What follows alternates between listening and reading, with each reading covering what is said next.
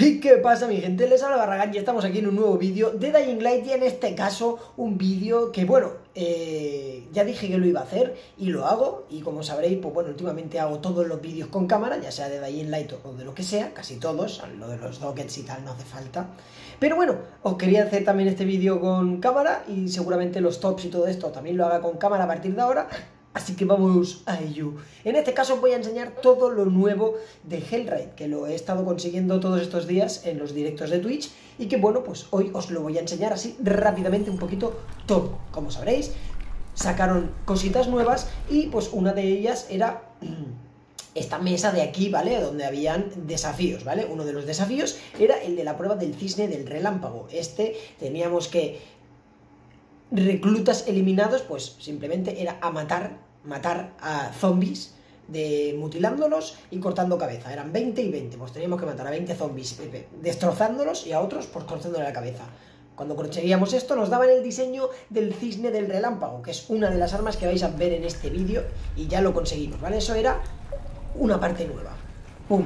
Eso obtenido por un lado. Y por otro lado teníamos dos niveles nuevos que conseguir, que lógicamente ya los tengo, ¿vale? Como veréis, el nivel máximo que teníamos en Play hasta ahora era Nemesis, que era donde me quedé, y luego pues han añadido dos más. Este de aquí, que es escudero, y como estaréis viendo trae el ataja golpes, que es un escudo que solo está de momento en Hellride, ¿vale? O sea, como sabréis, cuando salimos de Hellride podemos coger los objetos de Hellride para el exterior, para la campaña, digamos, pues este no está. O sea, el ataja golpes no está.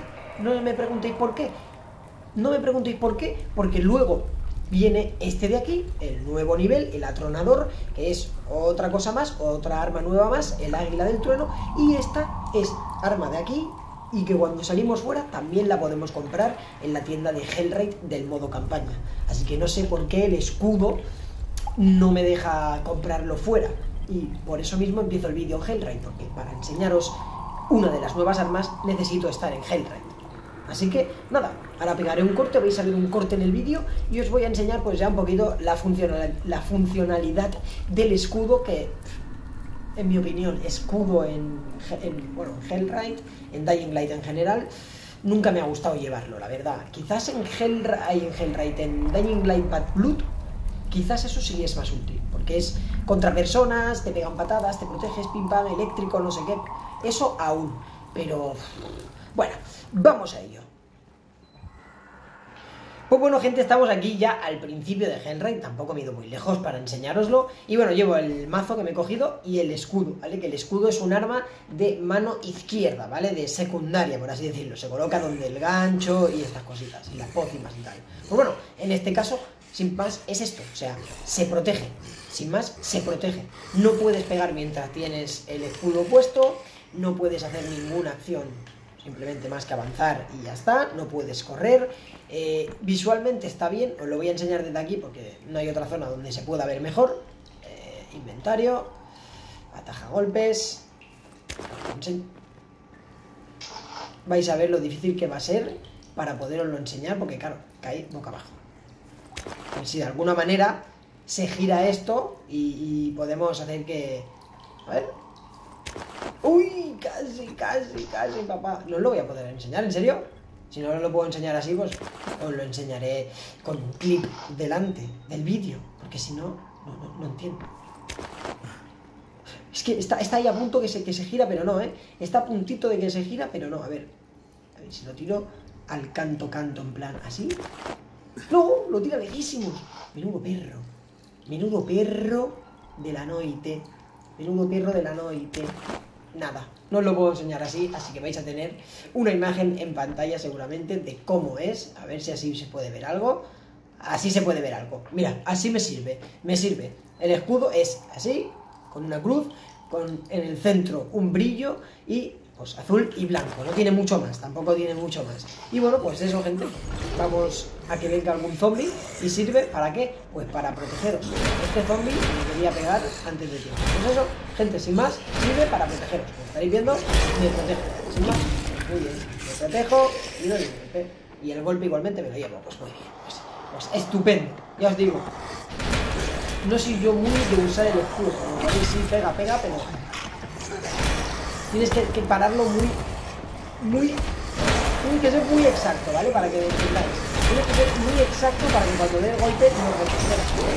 Estos grandes, la verdad que no, o sea, con estos tan rápidos, la verdad que no, veis, no tiene mucha función. La verdad, no tiene mucha función. Pues bueno, como veréis, eh, no tiene mucho más, no tiene mucho misterio más. Te protege de los golpes. Eh, puedes mantenértelo todo el rato, pero a la que te vienen muchos, sí que pasa lo que me ha pasado a mí, que te dan los golpes igual. Este sería el escudo de Hellraid, que en mi opinión se podría hacer así, con el escudo de Hellraid. Mira, mira, joder, ahora, no lo tira. Tíralo para allí, hombre, tíralo para allí, hombre. Toma Hellraid. El escudo es así de útil. Así. Mira, ni se ve. Vamos con la siguiente. Y bueno, gente, ya estoy fuera de Hellraid y bueno, como sabréis, para comprar las armas de Hellraid hay que venir a Barrios Bajos, venir a la Torre de Brecken y venir a este baúl de aquí. En este baúl le damos a intercambiar. A lo mejor algunos decís, ¿por qué te salen todas en amarillas? No lo sé, creo que se me ha bugueado y que me salen todas las armas de Hellraid en amarillas, esto no debería salir así, si no me equivoco, debería salir cada una en su color, en plan la surte en amarillo, el mazo en naranja y así restando, pero se me ha bugueado y están todas en amarillo, yo lo agradezco, agradezco que se haya bugueado de esta manera, ¿verdad? La que nos, las que nos interesan básicamente son esta de aquí, que es la águila de trueno, que no la voy a comprar porque ya la tengo cogida, y la otra que es la que nos dan el diseño, ¿vale? Que os voy a enseñar cuando nos den el diseño, tenemos que ir aquí, Bajamos, vamos a buscar armas de DLCs, lógicamente. Buscamos armas de DLC, creo que me la he pasado, ¿eh? me la he pasado un poquito. Bastante, creo que me la he pasado incluso. No, no, no, no, no, voy bien, voy bien, ya iba bien, ya iba bien. Aquí está, Cisne del Relámpago. Esta es al contrario que el escudo. Esta solo la podemos usar fuera de Hellraid. O sea, la conseguimos en Hellraid, pero solo... O sea, tienes hasta el símbolo de Hellraid, pero solo la podemos utilizar fuera, porque dentro no te la da ningún zombie ni nada. Solo la puedes crear fuera de Hellraid. Así que no entiendo muy bien esta lógica. Pues bueno, yo, como os digo, ya las tengo en el inventario eh, y básicamente pues me las voy a poner, ¿vale? Esto lo tengo preparadito para otro vídeo, para enseñaroslas. Así que pues las voy a quitar de momento y me voy a poner... ¿Dónde estás? ¿Dónde estás? Cisne del relámpago, muy bien. Y... Eh, águila del trueno. Como veréis, daño. Tienen tres clickers 2339. Y Cisne del Relámpago. Tiene 3 clickers, 4007.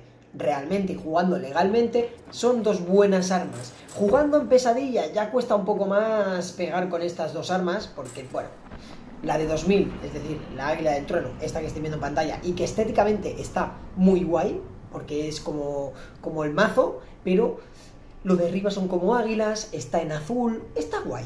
A mí me, gusta, me gusta, me gusta, ¿vale? Os la voy a poner en el suelo también, por si queréis verla en el suelo. Y es básicamente así. Está bastante guay. Está bastante guay. Y la otra arma sería esta, la del cisne del relámpago, que está bastante bien y que cuando cargamos el golpe y le damos así, da carga, eh, carga eléctrica, igual que la de esta de aquí, ¿vale? La, del trueno, lo mismo. Cargamos damos y suelta electricidad. Ahora os lo enseñaré con zombies, os voy a enseñar la del relámpago en el suelo, que también tiene como un brilli brilli, pero que llevándola nosotros no lo vemos, y el brilli brilli estaría ahí en la esquinita, ¿vale? Eh, la cosa azul esta que como que parpadea. Tienen todas las armas estas, el escudo, también tiene el detallito de, del azul brillante. Como veréis, mantenemos pulsado el golpe, soltamos y tiene daño eléctrico y daño de empuje al parecer. Como veréis, daño de empuje y daño eléctrico. Me pongo la, la espadita, voy a pasar a esto un poco, cargo un poco el golpe, le pego un pedazo, ahí está. Pues ahora no le ha querido, no le ha querido dar electricidad a este. ¡Uy! ¡Uy, que me lo esquiva! ¡Uy! ¡Uy, perro! ahí lo veréis, ahí está. Vamos a hacerlo con este que es un poco más lento. Ahora no. Tenéis que cargarlo al tope, ¿vale? Y ahí estaría. No, no, ¿por qué no da electricidad ahora? ¿Por qué no me ahora el perro? Es que da muy poca, ¿eh? Ahí, ahora, ahora por fin.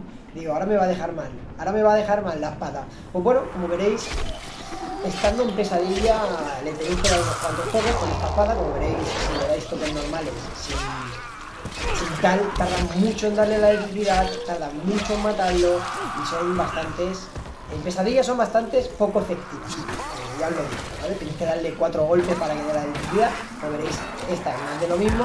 Y le doy un golpe, le doy dos, tres, cuatro. ¿eh? No, cuatro golpes a uno le he dado la electricidad. Cinco, seis. ¿Veis? Tarda, tarda muchísimo en dar la electricidad. En cambio, si aguantamos el golpe, lo da de